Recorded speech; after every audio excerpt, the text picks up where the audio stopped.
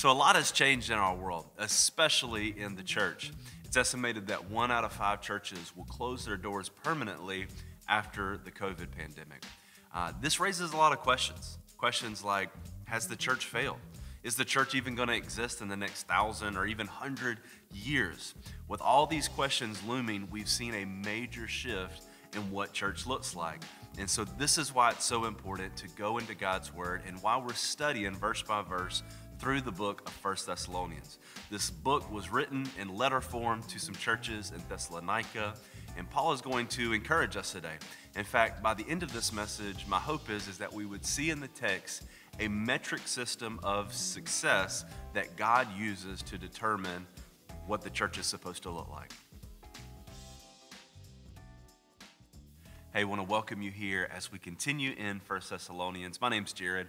If you're watching in a home church, we're so glad that you're joining us today. If you're not, we still want to invite you to follow along. It's really going to be important throughout this series that you use the teaching notes that are available online. If you go to the hub site, our church hub, my1116.info, uh, you'll actually can scroll over to gatherings, look for Sunday online. This is what this is. And you'll see an entire guide for the service. And in that guide, you'll see a link there that has my teaching notes that are available each week. I want you to follow along, especially if you're leading in a home church. There's going to be some great moments throughout this series to be able to pause, to discuss, to dig a little deeper. I wish, I was telling Jeremy just a minute ago, I wish I had about an hour to go deeper, but we know because this is video, it makes it a little bit tougher. And two, it gives you an opportunity to break some things down. So before we get in First Thessalonians, let's kind of remind ourselves of some of the major themes and ideas of why we're studying this book in the first place. So let's go to Colossians chapter 3 again. Colossians chapter 3, and I'm just going to read verses 1 through 4. Paul says this.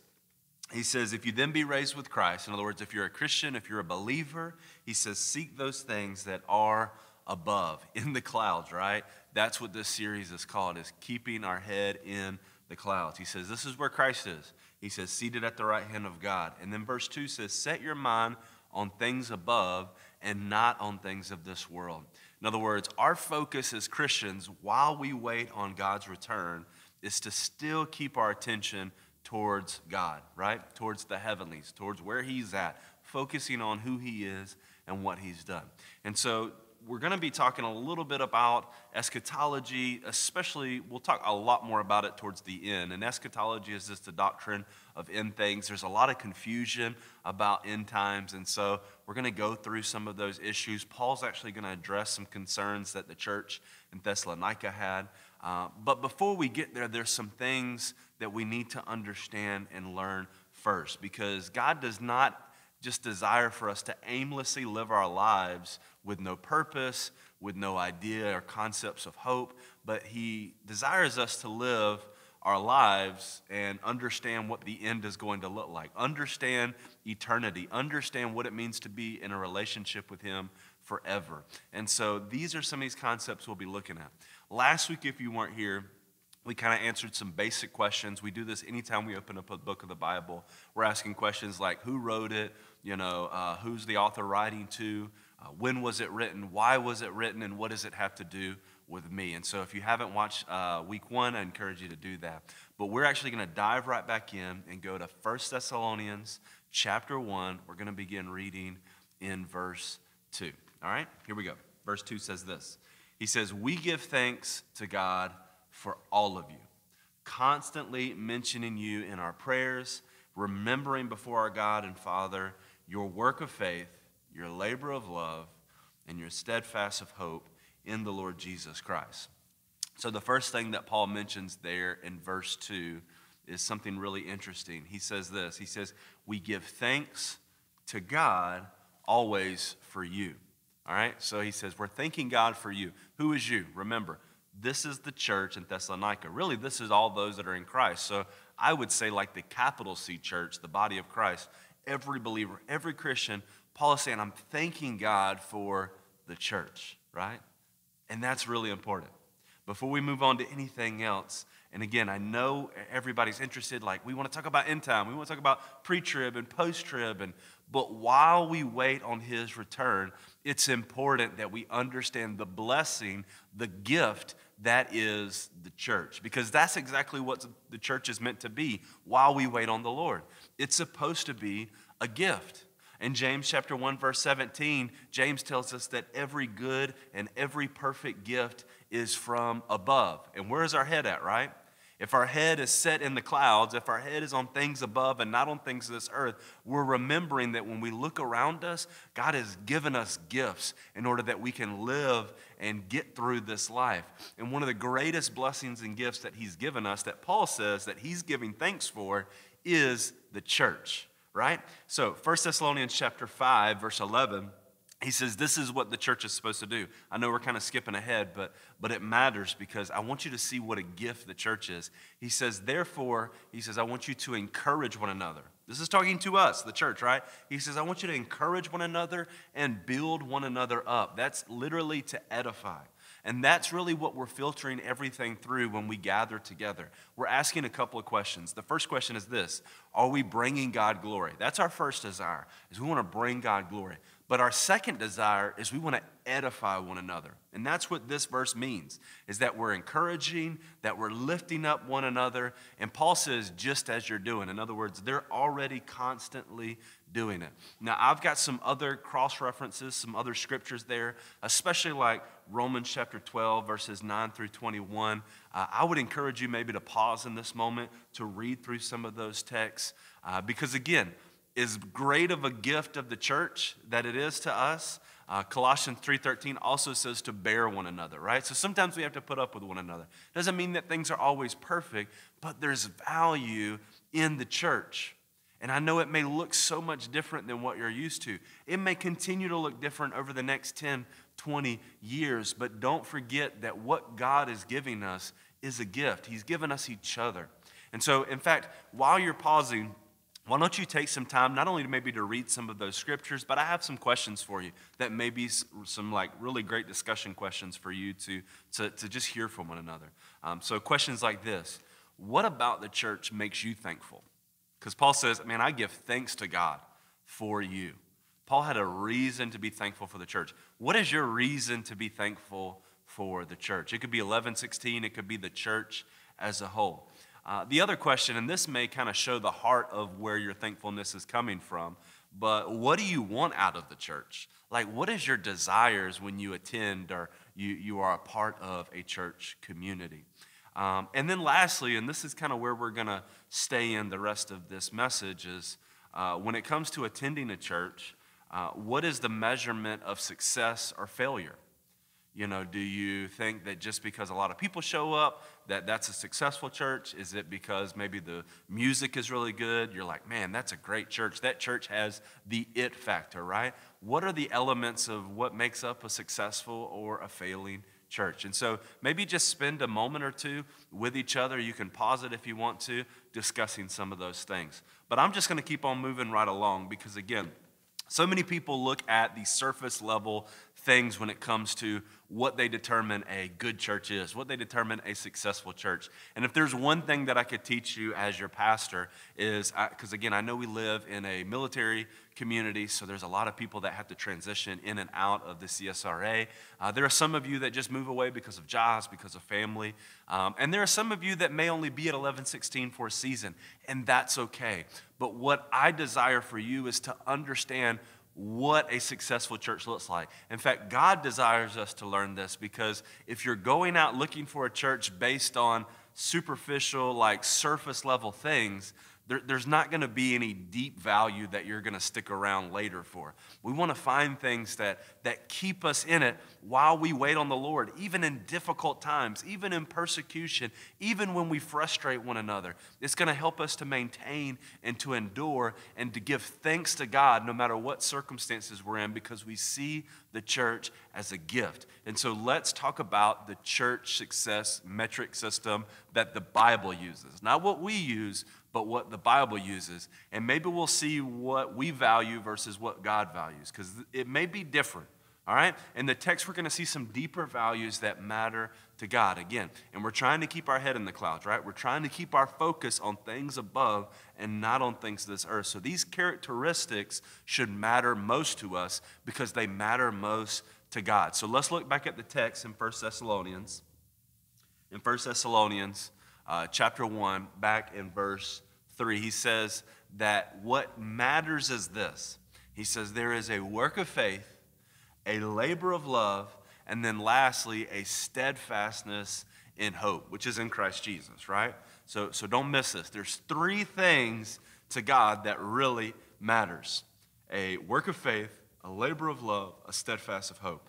For the next few weeks, until we get to the last two chapters, which deal specifically with eschatology, with end times, Paul is prepping us here. He, he's showing us what we do while we wait on the Lord. And so each week, we're going to dive a little bit deeper into these characteristics. So make sure you stick around. Today, I'm just going to kind of give you a baseline understanding, but I encourage you to be back each week so we can dig deeper in what each of these mean and what each of these are supposed to look like in our church community, right? Because again, these are the determining factors that Paul and that God desires us to understand what really matter to God. So the first one is this He says, I want you to have a work of faith. Now, it does not say, I want you to work for your faith. Again, faith is a free gift from God given to us that we receive in grace, and it's not of works that you're saved. But that's not what he's referring to. He's not referring to salvation in the fact of you need to work for your salvation. What he's talking about is that when you receive the free gift of salvation and God gives you faith to believe in what he has done, it activates something. In fact, a work of faith is this faith is actually putting it into practice. And that's what God desires, right? For us to put our faith into action. So let's go to Hebrews, Hebrews chapter 11. Hebrews chapter 11, verse 1 says this He says, Now faith is the assurance of things hoped for, the conviction of things not seen. So he says, We have an assurance, we have a conviction, we, we, we know that we know uh, who Jesus is and what Jesus has done. And because of this, because this is what a work of faith will do, what we believe will dictate what we do. That's so important. What we believe will dictate what we do. So if we have faith that Jesus is who he said he was, that Jesus did what he said he did, and that Jesus will come back one day, it will impact the actions that we live out today as Christians. That's what faith is. Faith is supposed to be an action. The second thing that he mentions is this he says, I want you to have a labor of love. Now, again, love is active, love is following through on our faith. In Galatians chapter 5, verse 6, uh, Paul tells us, he says, For in Christ there is neither circumcision nor uncircumcision. In other words, uh, Jew versus Gentile. Uh, there was a big ethnic division in Paul's day, just kind of like how there is today. It was just between Jews and Gentiles. And what he's trying to teach them is it doesn't matter whether you're Jewish or Greek. It says it doesn't count for anything. He says, but here's what matters. But only faith, so there's our first part, right? We got to have a working faith, but then faith working through love. So, how is it exemplified when our faith is lived out? It's exemplified through love. And then, if you drop down to verse 14 in Galatians chapter 5, Paul says this He says, For the whole law is fulfilled in one word. Some of you are like, Yeah, I want to keep the Ten Commandments. You can't. You'll, you'll screw it up, you'll mess it up because you're human, right? But the reality is, is that there's over 600 plus different laws and regulations that God gave to the nation of Israel.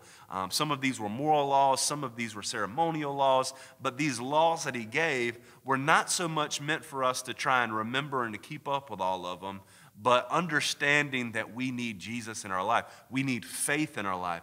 But once faith is ignited, uh, Paul simplifies what our lives should be doing actively in one word, he says, and it's through loving. He says, You can fulfill the, the law in one word, and then he says, You shall love, that's the word, you shall love your neighbor as yourself. So not only what we believe we do, but why we do it matters. And that's what the labor of love is, right? So, in other words, we can be out working for our own gain, for our own kingdom, for our own devices, and that's not good faith, right? A good working faith is coming from a place of love. The motivation is love. Because I love God, I want to love my neighbor as myself. Because I love God, really because He first loved me, I want to love even my enemy. You, so, so why we do it matters as well. the last part is this He says, I want you to have, and he, and he says it uh, in verse uh, 3 back in 1 Thessalonians. He says, I want you to have a steadfast of hope in our Lord Jesus Christ. A steadfast of hope. So, what is hope? Hope is something that enables us to press on and to endure. Again, while we're waiting on the return of the Lord, while we're waiting on his coming, things are hard.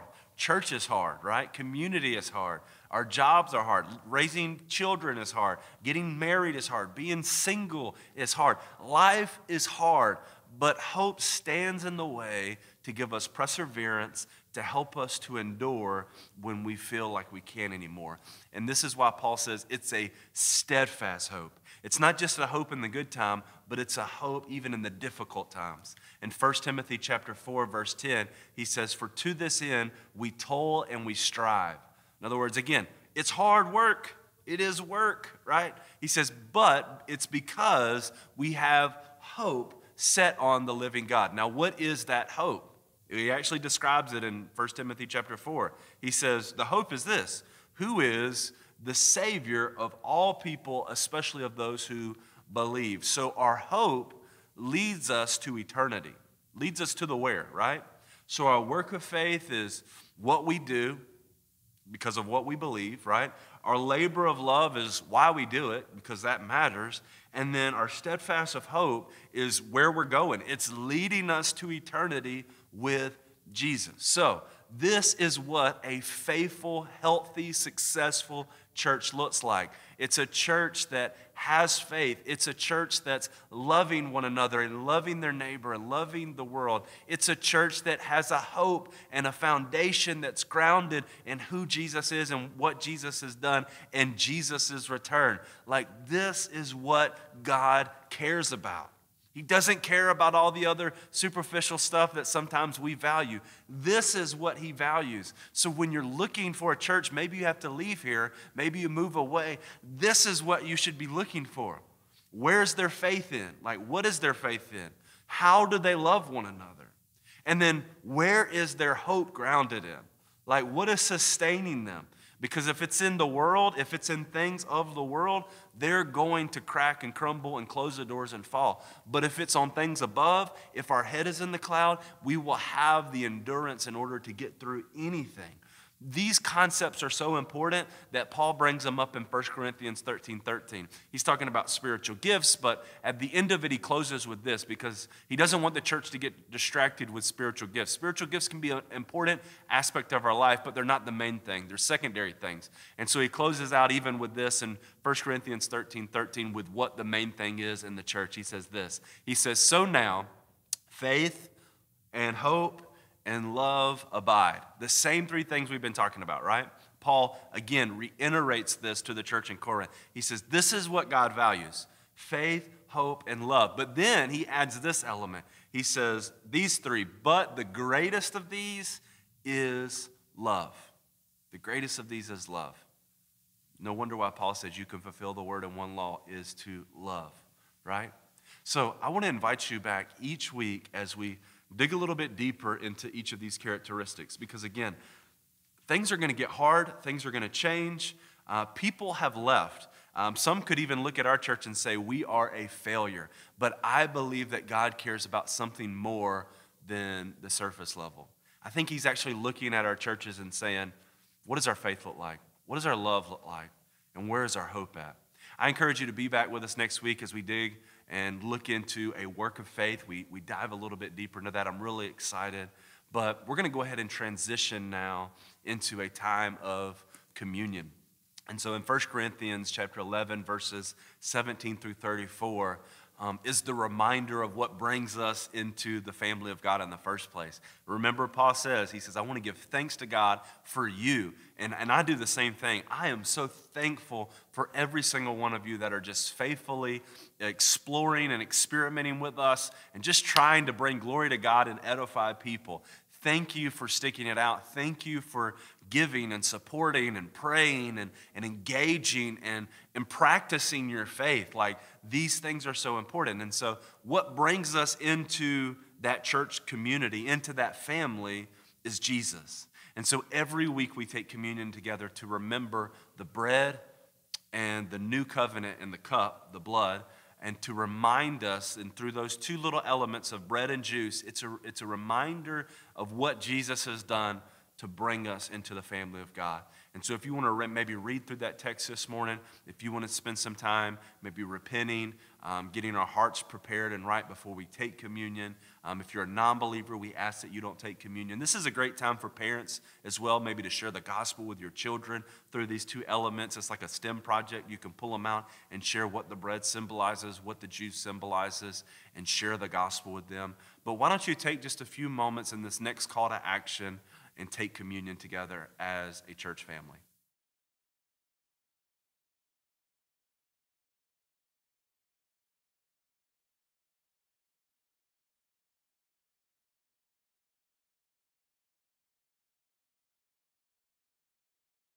I want to thank you so much for joining us today. And if you have any needs, prayer requests, really questions, you need counseling, whatever it is, we want you to know that our pastors are here to help and serve you. And so, one of the things that we've done to try and make it as easy as possible is we have what we call our pastoral care resources. You can find it on the hub at my1116.info. There's some forms to fill out if you want to have some counseling done. Uh, there's some stuff you can fill out for questions or needs. Uh, again, our leaders are here to serve you. We want to be active in your life, not just uh, people behind a screen teaching, but if there are needs, if there's questions, whatever we can do, we want to walk with you in your faith and, and really help you grow. Uh, help you grow closer to Jesus, help you grow in the church, and help you make an impact in our world. And so use those pastoral care resources. Again, uh, but thank you for joining us today. We love you guys. We're really excited about this series. Can't wait to see you next week as we continue in our Head in the Cloud series in First Thessalonians.